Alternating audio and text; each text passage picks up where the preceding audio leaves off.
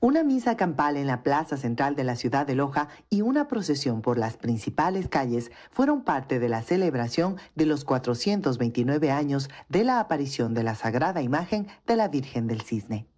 La historia cuenta que un 12 de octubre de 1594, la sagrada imagen de la Virgen del Cisne apareció en la parroquia que lleva este mismo nombre a un grupo de indígenas que huían de la hambruna y de la sequía. Eh, le mira a la Virgen y no sabía que era ella, y la señora le dice, no salgan de esta tierra, no se vayan de aquí, edifíquenme una pequeña capilla y yo les daré la lluvia y les daré de comer. Y eso es lo que estamos celebrando ahora, esa presencia, esa fe y esa esperanza que nos deja la presencia de la Virgen María.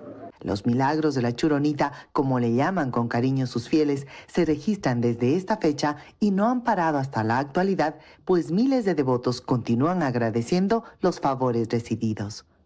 Yo la acompaño a la Virgencita porque soy muy devota de ella y por tantos milagros que me ha hecho. tenemos mucha fe porque es muy milagrosa la Virgen.